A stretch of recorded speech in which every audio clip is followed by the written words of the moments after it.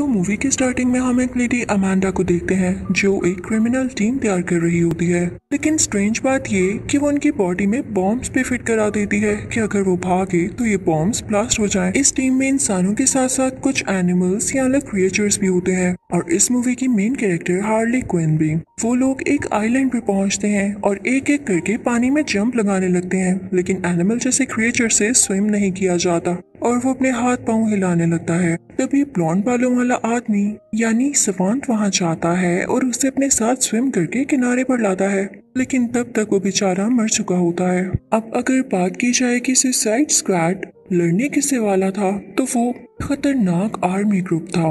ये आर्मी यहाँ भी आ जाती है तो ब्लैक कार्ड हाथ ऊपर करके चिल्लाने लगता है। आर्मी के लोग, जो कि पूरी बाउंड्री बनाकर इनके चारों तरफ़ खड़े थे, ब्लैक कार्ड के मुँह पर फायरिंग करते हैं, जिससे उसके मुँह की सारी स्किन उतर जाती है और वो वहीं मुँह के बल गिर जाता है। अमांडा इन सब पर नज़र रखी होती है और इनसे कहती है, जो भी हो जाए, तुम लोग स्टेप बैक नहीं करोगे, यानी पीछे नहीं हटोगे। हाल क्विन इसका फ़ायदा उठाते हुए अपनी बड़ी सी शॉर्ट गन से आर्मी के ग्रुप की तरफ़ शूट करती है, जिससे उनके काफ़ी लोग इस ब्लास्ट में मारे जाते हैं। अब यहाँ पर असली फाइट शुरू होती है, जब सुसाइड स्क्वाड का एक मेंबर एक ब्लेड फेंकता है तो वो एक आदमी की गर्दन और एक आदमी का सर एक साथ ही काट डालता है। आर्मी भी जोश में आ जाती है और अंधाधुन फायरिंग शुरू कर देती है। हार्ले अपनी जान बचाते हुए भागने लगती है और एक बड़े से पत्थर के पीछे आके छुप जाती है। उसके साथ एक और मेंबर भी आ जाता है और उनके सामने एक और मेंबर होता है जिसका नाम टीटी के होता है। वो अपने दोनों बाजू अलहदा करता है और उनको आर्मी की तरफ़ भेजता है। जो आर्मी को डिस्ट्रैक्ट करने लगते हैं, उनकी कैप्स को छेड़ने लगते हैं, उनकी गन सिलाने लगते हैं। लेकिन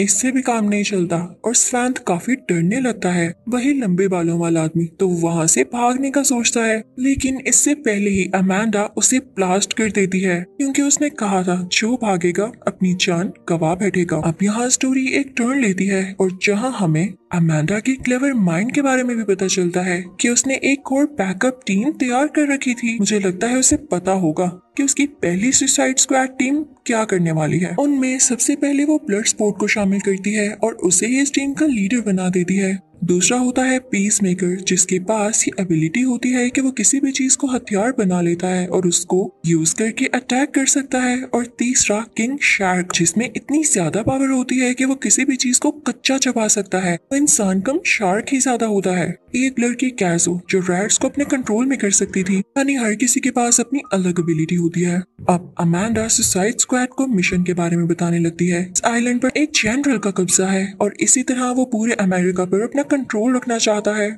इस पर्पज के लिए उसने वहाँ पर एक लैब भी बना रखी है और तुम लोगों को इसलिए चुना गया है ताकि उस आइलैंड पर जाकर इस लैब को ढूंढो और जनरल के साथ साथ उस लैब को डिस्ट्रॉय कर दो। लेकिन उससे पहले तुम सबको उसके राइट हैंड यानी लैब के इंचार्ज को पकड़ना होगा। उधर हार्ले क्वीन और फ्लैग बच जाते हैं जो अपनी जान बचाने के लिए भागते हैं, लेकिन हार्ले को आर्मी पकड़ लेती है और फ्लैग को आइलैंड के कुछ लोग अब नया सुसाइड स्क्वाड भी चुका होता है। लेकिन रात होने की वजह से वो लोग उधर ही स्टे करके रेस्ट का सोचते हैं। अचानक रात को ब्लड स्पोर्ट की आँख खुलती है तो वो देखता है कि किंग शार्क भूखा होने की वजह से उस लड़की कैसो को ही खाने लगता है। लेकिन ब्लड स्पोर्ट उसे आवाज़ देकर रोकता है और साथ ही उस पर शूट भी करता है, लेकिन उसे सरा चोट नहीं आती। केसो वहाँ रैट्स बुला लेती है, जिससे किंग शार्क को इतना फ़र्क नहीं पड़ता, लेकिन ब्लड स्पोर्ट को। चोट पड़ जाता है क्योंकि वो चूहों से बहुत डरा करता था। अब कैसो को डर होता है कि किंग शार्क कहीं उसे दोबारा ना खा ले तो वो उसके पास जाकर उसे प्यार से समझाती है कि देखो, हम दोस्त हैं और एक मिशन अच्छे से करेंगे तो किंग शार्क समझ जाता है, लेकिन बाकी सारी टीम उसे कभी भी अपना दोस्त नहीं मान सकती थी।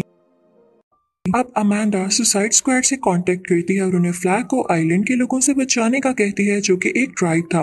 वो सब उस तरफ़ चल पड़ते हैं। किंग शार्क वहाँ जाते ही एक आदमी को खा जाता है। पीस मेकर के सामने ट्राइब का एक बंदा आता है तो वो उसकी तरफ़ अपना कुल्हाड़ा फेंकता है। जो सीधा उसके सर में जाकर लगता है और उसका काफ़ी खून बहने लगता है। फिर ब्लड स्पॉट भी पीस मेकर की तरफ़ एक स्वर्ड उछालता है, जिससे पीस मेकर एक आदमी का गला काट देता है। ब्लड स्पॉट भी बहुत फायरिंग करने लगता है। पोलका डोट अपनी बॉडी से शॉर्ट्स निकाल के वहाँ के हर्ट्स को डिस्ट्रॉय करने लगता है और पीस मेकर अपनी स्वर्ड से लोगों की बॉडीज को काट के अंदर जाता है। तो इन सबको पता चलता है कि ट्राइब वालों ने फ्लैग को कैद नहीं रखा, बल्कि इन्होंने तो उसकी जान बचाई थी। और ट्राइब की लीडर आके इन सबसे बात करती है। वो बताती है कि वो भी जनरल के अगेंस्ट है। वो इन सब पर गुस्सा करने लगती है। तुमने बिना देखे मेरे लोगों को मार दिया। लेकिन फ्लैग कहता है कि जाने दें, हम सबका जब एक ही मिशन है तो कैसा लड़ना? वो बहुत मुश्किल से स्ट्राइक के लीडर को मनाते हैं। अब उधर हार्ले को आर्मी पकड़ के जनरल के पास ले गई थी। वो हार्ले से कहता है कि अगर तुम मुझसे शादी कर लोगी तो मैं प्रेसिडेंट बन जाऊँगा, क्योंकि लोग समझते हैं कि मेरे लिए मैरिड होना ज़रूरी है। और फिर हम दोनों मिलकर दुनिया को भी रूल करेंगे।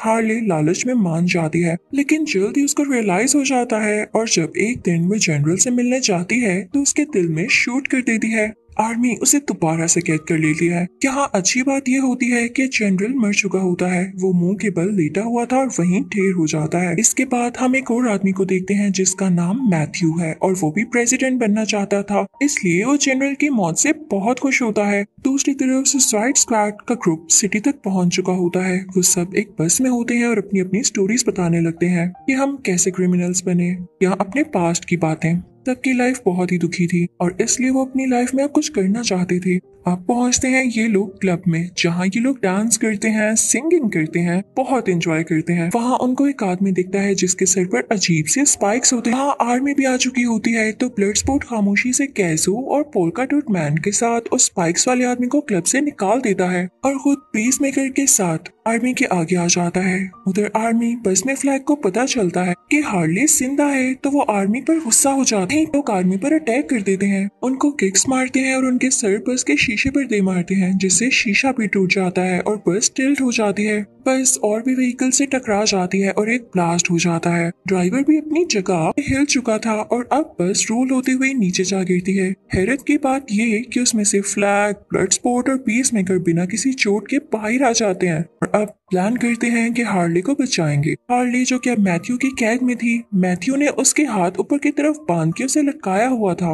वो उसके मुँह और पेट पर पंचेस मारता है, जिससे मुँह से खून आने लगता है। वो उससे उसके बैकग्राउंड के बारे में पूछता है और ये भी कि कौन लोग हैं हमारे पीछे? हार्ली उसे कुछ नहीं बताती तो मैथ्यू का बंदा उसे इलेक्ट्रिकल शॉक्स देने लगता है। हार्ली की आँखें बंद हो जाती हैं, लेकिन वो ड्रामा कर रही थी। मैथ्यू जैसे ही बाहर जाता है, हार्ले। उसके बंदे के गर्दन को अपने पाँव से तोड़ देती है और उससे की लेते हुए अपने पाँव की हेल्प से ही लोग खोलती है। जब वो बाहर आती है तो उसको बहुत से लोग रोकते हैं। पहले तो हार्ले उन दोनों को शूट कर देती है और फिर अपने दोनों हाथों से ही सब लोगों पर शूट करने लगती है। फिर एक रोड लेके जंप करती हुई वहाँ से लोगों को मारते हुए गुजरती जाती है। आखिरकार वो बिल्डिंग से बाहर आ जाती है और उन तीनों को वहाँ पर देखती है, जो उसे बचाने आए थे। हार्ली फ्लैग के गले लग जाती है। अब ये सब इकट्ठे हो जाते हैं और उस लैब की तरफ़ निकलते हैं। वहाँ बारिश शुरू हो जाती है। अब सब उधर अपने मिशन के मुताबिक फाइट करने लगते हैं। सब वहाँ के लोगों के गर्दनों में शूट करते हैं। इन शार्क एक आदमी के जिस्म को दो हिस्सों में अलग कर देता है और यहाँ बहुत सारे सोल्जर्स का खून बहने लगता है। पीछे से और भी सोल्जर्स आ जाते हैं और मैथ्यू को भी खबर हो जाती है। सुसाइड स्क्वाड लैब के अंदर जाके डोर्स लॉक कर चुका होता है। ऐसो अब लैब के अंदर जाती है तो वहाँ बहुत से क्रिएचर्स को देखती है जो उसे कम्युनिकेट करने की कोशिश करती है। वहाँ वो कुछ स्टार को भी देखती है जो बहुत डेंजरस लग रही होती है। अब यहाँ वो स्पाइक्स वाला आदमी इन सबको बताता है की ये स्टार हमारे अपने मुल्क का ही एक फेल एक्सपेरिमेंट था और फिर इसे इलीगल एक्सपेरिमेंट के लिए स्लैब भेज दिया गया।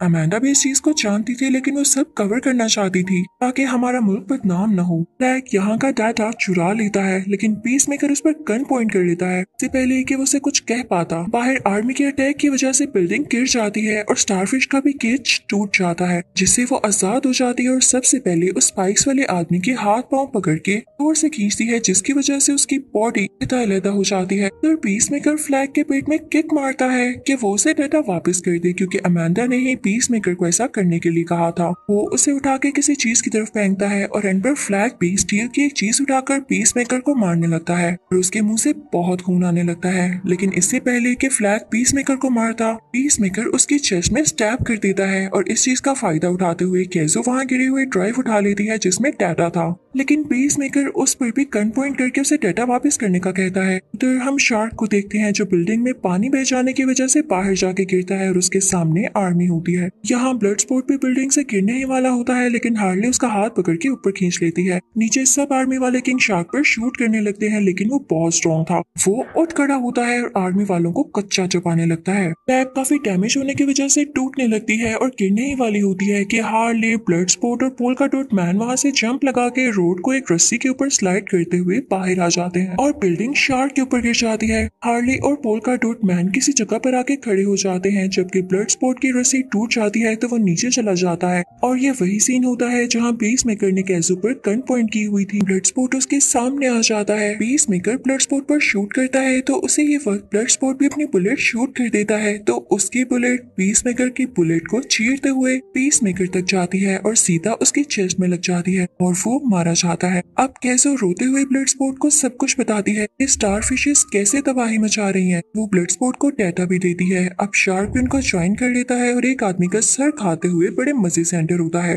इतने अटैक्स के बाद भी ज़्यादा चोट नहीं आई थी, लेकिन तभी वहाँ पर मैथ्यू की आर्मी भी आ जाती है। वो अपनी गन्स तैयार कर लेते हैं। सुसाइड स्क्वाड को मारने ही वाले होते हैं, लेकिन इससे पहले ही स्टार फ़िश बिल्डिंग को तोड़ते हुए बाहर आती है। बहुत ज़्यादा ह्यूज थी। आर्मी अब स्टार फ़िश पर शूट करने लगती है, लेकिन वो स्टार फ़िश अपनी कुछ बेबीज दे देती है। उन आर्मी पर्सन पर अटैक करने लगते हैं, लेकिन सुसाइड स्क्वाड को कुछ भी नहीं कहते। लेकिन जल्द ही जिन लोगों पर स्टार फ़िश के बेबी गिरे थे, उनकी बॉडी को कंज्यूम करते हुए मॉन्स्टर बना लेते हैं और स्टार फ़िश के पीछे चल कर डिस्ट्रॉय करने लगते हैं। लेकिन तभी अमेंडा इनसे कहती है की तुम लोगों ने लैब को डिस्ट्रॉय कर दिया तो तुम लोग वापिस आ सकते हो। लेकिन सुसाइड स्क्वाड अपनी सिटी को खतरे में कैसे देख सकती थी? तो वो स्टार फ़िश से लड़ने लगते हैं। लेकिन अमेंडा इनसे कहती है, मैं तुम लोगों को ब्लास्ट करके उड़ा दूँगी। लेकिन तभी अमेंडा के ऑफ़िस में ही मौजूद एक लड़की उसके सर पर रोड मारती है कि वो भी उसकी ब्लैक मेलिंग से तंग आ चुकी। तो साइड स्क्वाड स्टारफिश को खत्म करने के लिए निकल पड़ती है और सब लोग उन्हें अप्रिशिएट कर रहे होते हैं। लोग उस पर फायरिंग करने लगते हैं और किंग शार्क तो उस पर चढ़ उसका मीट ही लगता है उसे बहुत बाइट्स करता है। कैसो भी स्टारफिश को मारने के लिए जाती है, लेकिन देखती है, स्टारफिश तो उसे ही मारने आ रही है, तब ब्लड स्पोर्ट उड़ता हुआ आता है, यानी बहुत बड़ी जंप लगाता है, कैसो को अपने साथ लेके नीचे उतर जाता है। हार्ली भी बहुत ऊँची जंप लगाती है, अपनी उसी रोड से स्टारफिश की आँख में टैप कर देती है। स्टारफिश उल्टी बिल्डिंग्स के ऊपर गिरती है, क्योंकि वो काफ़ी जख्मी हो चुकी थी। सबसे बड़ी बात कि वहाँ पर कैसो ने ढेर सारे रैट्स बुलवाकर स्टारफिश को एक तरह से खत्म ही कर दिया था, और उसके बाद ब्लड स्पोर्ट अमेंडा को ब्लैकमेल करता है कि सारा डेटा हमारे पास है। तुम हमें फ्री कर दो। अमेंडा को ऐसा करना पड़ता है। उसके बाद वो सारे हेलीकॉप्टर में बैठ के वहाँ से आज़ाद होके चले जाते हैं। और उधर पीस मेकर को भी हम हॉस्पिटल में देखते हैं, जो की ज़िंदा होता है। वो भी नहीं मरा था और डॉक्टर्स उसका इलाज कर रहे थे। और इसी के साथ ये मूवी यही एंड हो जाती